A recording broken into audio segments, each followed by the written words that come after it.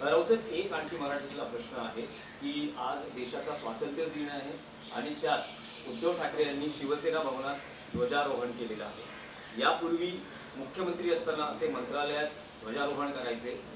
पुढच्या पंधरा ऑगस्टला किंवा सव्वीस जानेवारीला ते मंत्रालयात पुन्हा एकदा ध्वजारोहण आम्ही शिवसेना भवनावर तिरंगा नेहमीच फडकवतो. आमची विचारधारा तिरंगा न फडकवण्याची कधीच नव्हती. ज्यांची होती त्या सत्तेवर आहेत. आणि महाराष्ट्रातसुद्धा तेच सत्तेवर आहेत आणि त्यांच्याबरोबर एकनाथ शिंदे आहेत हे लक्षात घ्या. ज्यांची तिरंगा न फडकवण्याची मानसिकता होती घरावर कार्यालयांवर देशावर. त्यांच्याबरोबर कोण बसलेले आहेत? तर शिवसेनेतून फुटून गेलेले लोक बसलेले आहेत. आम्ही तिरंग्याचा नेहमी सन्मान केला आणि तिरंग्यासाठी आम्ही बलिदान केलं सगळ्यांनी. तुम्ही म्हणता आता पुढल्या पंधरा ऑगस्टला काय करणार? पुढल्या पंधरा ऑगस्टला स्वातंत्र्य दिन. मंत्रालयाच्या आवारात जो सोहळा होईल त्यात महाविकास आघाडीचं जे ठाकरे टू सरकार येईल त्या सरकारचा मुख्यमंत्री तिथे तिरंगा फडकवेल अभिमानानं. मी ठाकरे टू यासाठी म्हणतो की ठाकरे एक होतं आणि ते उत्तम सरकार होतं म्हणून आम्ही या सरकारला ठाकरे टू म्हणतो. मुख्यमंत्री पदाचा निर्णय हा आम्ही एकत्र बसून घेऊ. अभी बोलिए.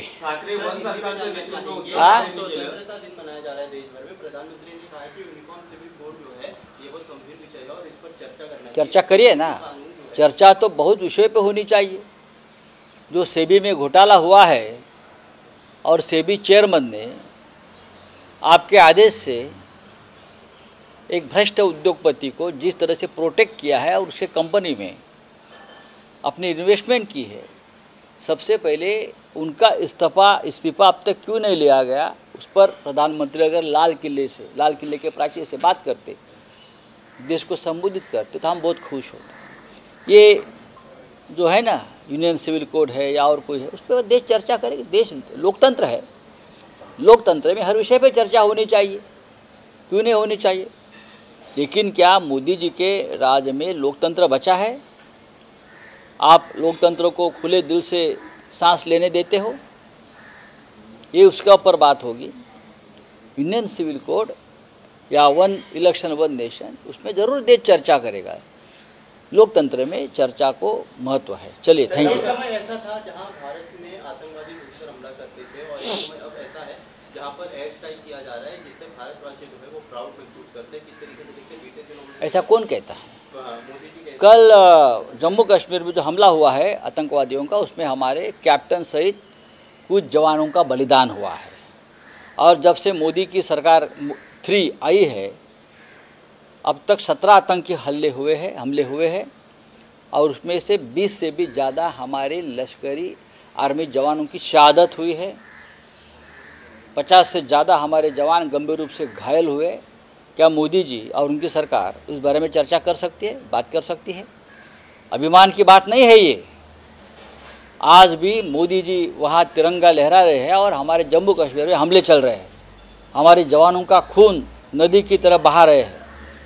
चलिए थैंक यू राव साहब, साहब, एक हिंदी में सवाल है चुनाव तीन सौ सत्तर कलम जम्मू कश्मीर में हटाने का शिवसेना ने समर्थन किया था।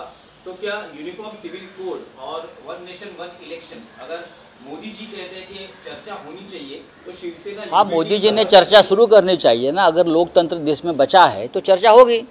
लेकिन समर्थन करेगी क्या? जिस तरह अरे चर्चा होगी ना मोदी ने चर्चा की बात की है ना तो चर्चा करने से देश को किसने रोका है? 370 कलम हटाया हमने समर्थन दिया। आज कश्मीर की स्थिति क्या है? अब तक पाँच साल में ये लोग विधानसभा का चुनाव नहीं ले पा रहे। आतंकवादी हमले नहीं ये रोक सकते हैं। कल शाम को जो हमला हुआ है, कैप्टन सहित दो जवानों की हत्या, बलिदान हुआ है। क्या मोदी जी उसके ऊपर चर्चा करेंगे? सदन में करेंगे। जिस तरह से देश को लूटा जा रहा है, और मोदी जी के आदेश से सेबी चीफ माधवी बूच ने अपनी इन्वेस्टमेंट पूरी एक ऐसे उद्योगपति के कंपनी में किया है जिसके ऊपर सेबी की ही जाँच चल रही है। ये मनी लॉन्ड्रिंग है, पूरी तरह से, हज़ारों करोड़ का। क्या मोदी जी ऐसे विषय पर चर्चा करने के लिए तैयार है? उसके लिए स्पेशल सेशन बुला लो थैंक यू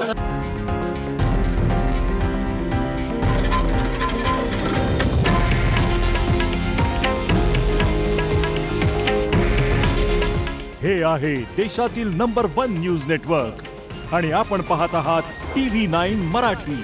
काळजी तुमची हित महाराष्ट्राचं.